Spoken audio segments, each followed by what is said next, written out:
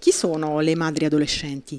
Le madri adolescenti sono mamme molto giovani, quindi comprese da un'età dai 15 ai 21 anni, quindi considerando un po' due fasce, dai 15 ai 18 che sono più a rischio per la relazione col bambino e poi tra i 18 e i 21 in cui comunque c'è una certa difficoltà a impattare e a incontrare il bambino. E eh, quali sono i rischi i rischi eh, sono un po' doppi, eh, un po' per la mamma che si trova un po' in conflitto tra eh, diciamo, proseguire il suo percorso di crescita verso l'età adulta e occuparsi del bambino, quindi ad esempio rischio depressione, eh, rischio di grosso stress a livello genitoriale e per il bambino possibilità di ritardi nello sviluppo cognitivo-linguistico e anche andando avanti un rischio psicopatologico. In Italia il fenomeno è omogeneo? C'è da dire che il fenomeno è un po' diverso dagli altri paesi sia anglo anglosassoni sia euro, altri paesi europei, quindi eh, la quota di mamme under 18 è abbastanza bassa e eh, c'è un po' un picco in tre regioni che sono Sicilia, eh, Campania e anche Lombardia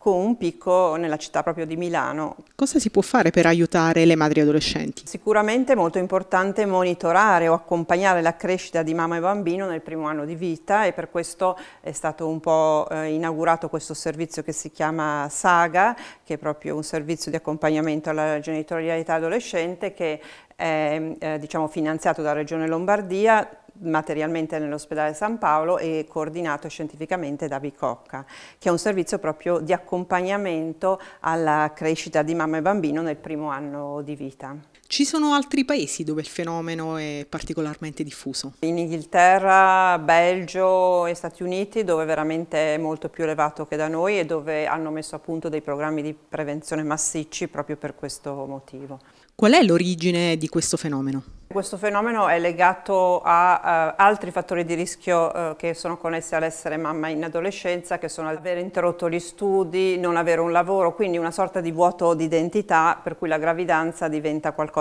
che permette in qualche misura di avere un progetto. Il tema poi è che questo progetto diventa difficile nel momento in cui nasce il bambino e la mamma si trova a confrontarsi con uh, l'accudimento del bambino.